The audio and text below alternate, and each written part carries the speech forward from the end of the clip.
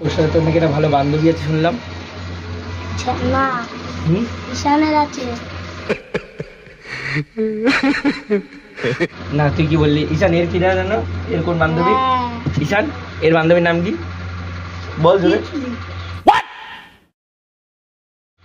তাই? তাহলে ওর কি কি না কি না কি হয়েছে? কি দিয়েছিল নাকি?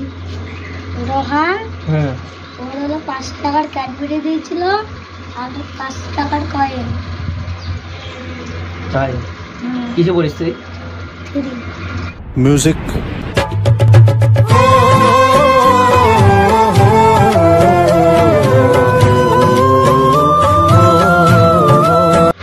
আর ঈশানের গার্লফ্রেন্ড আছে শুনলাম। তাই? কি নাম? দীপা। নিপা ঈশান তাই? তোরও গার্লফ্রেন্ড আছে ঈশান? 这里好热好热